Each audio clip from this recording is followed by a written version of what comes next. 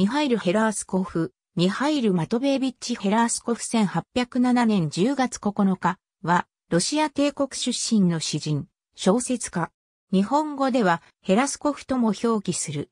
1771年から1779年にかけて表されたイヴァン・ライテイの火山包囲戦を扱った代表作、ロシアーダは12章9000行からなるロシア最初の女児詩となった。また、1785年頃に表されたロシアーダと共に評されるヘラースコフの女児詩に復活せるブラディミルがあり、この作品はルーシの洗礼を歌った作品として名高い。なお、ヘラースコフは熱心なフリーメイソンリーとしても活躍し、モスクワ大学の学長を務めた。日本での評価に、ロシア文学者の木村博は、ヘラースコフのロシアーダをロシア古典主義の最後を飾るものとしている。1733年11月5日のロシア帝国に父マトベイ・アンドレーエビッチ・ヘラースコフと母、アンナのもとに生まれるが、父のマトベイはミハイルの誕生後に亡くなった。また、ミハイルの祖父はワラキアから移住してきた貴族で、ミハイルは貴族出身だった。1740年にサンクトペテルブルクに移る。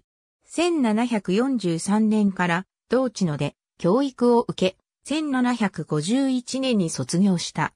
1754年から1755年にかけて商業大学に勤めたが、1年で辞職し、1755年から1802年にかけてモスクワ大学に勤め、評議員や学長を歴任した。1807年10月9日にモスクワで亡くなる。遺体はドンスコイ修道院に埋葬された。ロシアの女児誌は、イーゴリ遠征物語やブイリーナなどがロシアーダ以前に存在していたが、特に後者は民衆女児史と呼ばれ、全体を俯瞰する女児史はなかった。18世紀に入り、同国出身の詩人であるバシリー・トレディアコフスキー、ミハイル・ロモノソフ、アレクサンドル・スマローコフなどが女児詩の作成を試みたが、いずれも失敗に終わっていた。そのような中、1779年とフランスなど他の国に比べてやや遅い完成となったロシア最小の女児詩がヘラースコフのロシアーダであった。